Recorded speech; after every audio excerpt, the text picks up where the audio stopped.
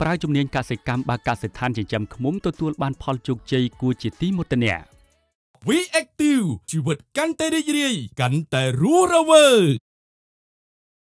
បារាយហាន់នីជាឈ្មោះកសិដ្ឋានចិញ្ចឹមឃ្មុំមួយកន្លែងដែលត្រូវបានបង្កើតឡើងដោយនិស្សិតរៀនជំនាញវិទ្យាសាស្ត្រព្រៃឈើនៅសាកលវិទ្យាល័យកសិកម្មព្រៃលៀមដែលបានចាប់អារម្មណ៍ក៏ដូចជាប្រើប្រាស់ជំនាញរបស់ខ្លួនមកចិញ្ចឹមឃ្មុំតាមបែបធម្មជាតិនិងអាចប្រមូលផលបានប្រមាណ1តោនក្នុងមួយរដូវ លោកហេងប៊ុនណាល់ម្ចាស់កសិដ្ឋានបារាយហានី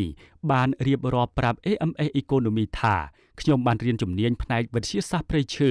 លុះពេលចុះកម្មសិក្សានៅឆ្នាំទី3ជាមួយនឹងសិស្សច្បងដែលគាត់ចិញ្ចឹមឃ្មុំខ្ញុំក៏បានចាប់អារម្មណ៍នឹងសត្វឃ្មុំដែលជាសត្វជួយដំណើរលំអងរបស់រុក្ខជាតិហើយក៏បានសុំសិស្សច្បងដើរតាម ហាត់រៀននឹងចាប់ផ្ដើមចិញ្ចឹមត្រឹមពូជឃ្មុំ2ធុង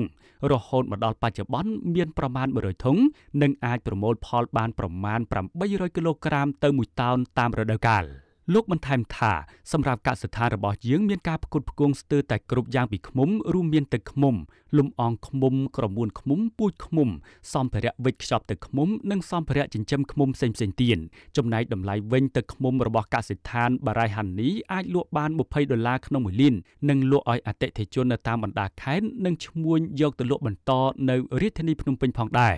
ចំណែកការផ្គត់ផ្គង់ទឹកឃ្មុំវិញម្ចាស់កសិដ្ឋានខាងលើបានបញ្ជាក់ថា ជាទូទៅការចិញ្ចឹមឃ្មុំនេះអាចផលិតស្តុកទុងនិងផ្គត់ផ្គង់ទឹកឃ្មុំវិលជុំបានពេញមួយឆ្នាំដោយសារការចិញ្ចឹមឃ្មុំតាមបែបធម្មជាតិនេះអាចចល័តតាមរដូវកាលនិងទីតាំងណាដែលមានប្រភពលំអងផ្កាតួយ៉ាងរដូវផ្កាកោនិងផ្កាកស៊ូ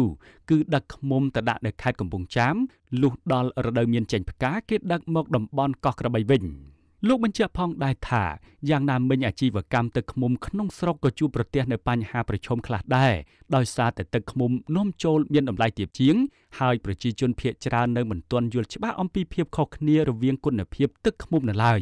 នៅពេលអនាគតលោកហេងប៊ុនណាល់ចង់ពង្រីកការចិញ្ចឹមឃ្មុំតាមបែបធម្មជាតិបន្ថែមទៀតដើម្បីផ្គត់ផ្គង់តម្រូវការទឹកឃ្មុំឲ្យបានកាន់តែច្រើនក៏ដូចជាបង្កើនបរិមាណទឹកឃ្មុំដែលអាចសម្រួលដល់អ្នកប្រើប្រាស់ទទួលបាននៅផលិតផលដែលមានគុណភាពនិងតម្លៃកាន់តែសមរម្យ We Active ជីវិតកាន់តែរីករាយកាន់តែរស់រវើក